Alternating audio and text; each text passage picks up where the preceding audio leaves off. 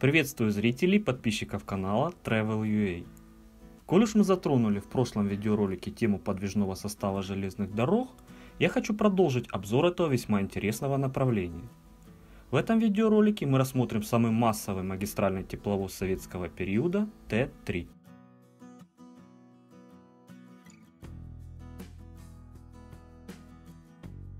Начнем наш обзор с истории появления данного локомотива. На заре тепловозостроения СССР конца 40-х, начала 50-х годов перед советской промышленностью стояла задача создания тепловоза, способного заменить мощные магистральные паровозы серии FD, L и LV.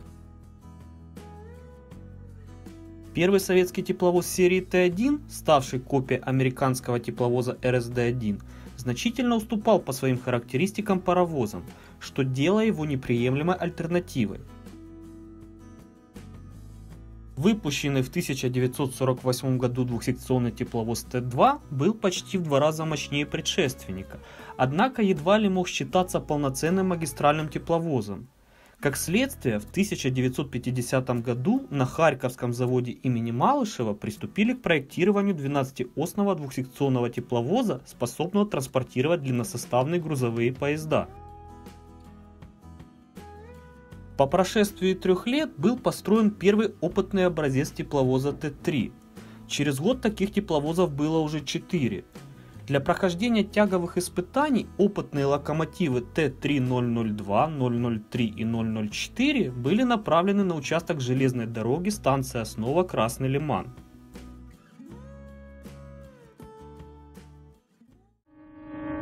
Новый мощный дизельный тепловоз Т-3, изготовленный на заводах Харькова, держит экзамен.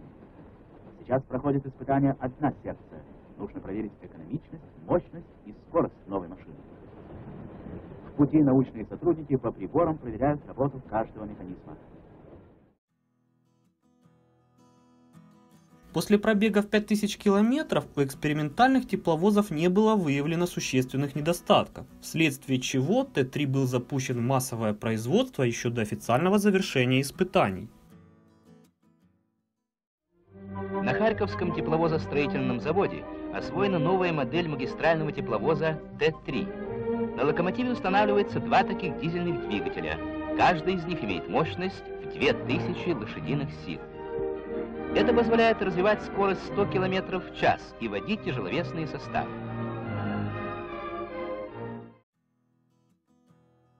С целью ускорения перевода железных дорог на тепловозную тягу было принято решение о размещении производства Т-3 также на Коломенском и Ворошиловградском локомотивостроительных заводах. Предусматривалось, что тепловозы серии Т-3 с номерами от 1 до 1000 будут выпускаться на Харьковском заводе, от 1001 до 2000 на Коломенском и свыше 2001 на Ворошиловградском. В середине 1956 года Коломенский завод выпускает свой первый тепловоз Т-3 под номером 1001. В этом же году Ворошиловградский завод выпускает Т-3 2001. По прошествии двух лет с начала серийного производства были внесены изменения в конструкцию тепловоза. По аналогии с пассажирским тепловозом Т-7 на Т-3 была увеличена высота кабины машиниста –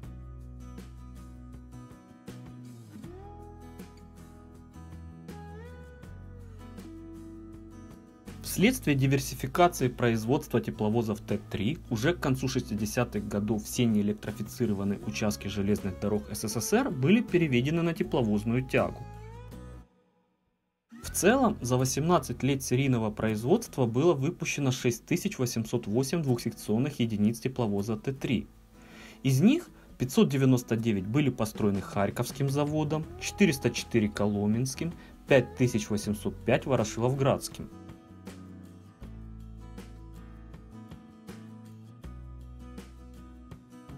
До начала 80-х годов тепловозы Т-3 можно было встретить практически на каждом неэлектрифицированном участке железных дорог СССР. В Украине наиболее интенсивно Т-3 курсировали на участках Коростен-Тетерев, Чернигов-Нежин, Черкассы-Смело, Львов, Жмеринка, Могилев, Подольский.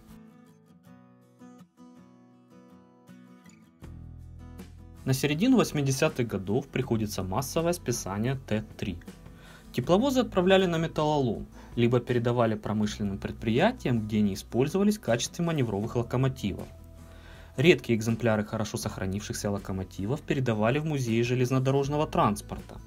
Одним из них был тепловоз Т-3-2068, представленный сегодня на выставке подвижного состава на станции Киев-Пассажирский. Данный локомотив был произведен в 1957 году на Ворошиловградском тепловозостроительном заводе, откуда был направлен депо Петропавловск Омской железной дороги. В 60-х годах был передан Юго-Западной железной дороге, где до 1991 года работал в депо Дарница.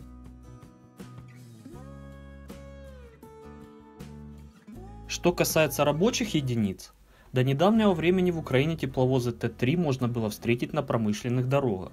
В частности, один такой тепловоз работал на предприятии Ивано-Франковск Цемент.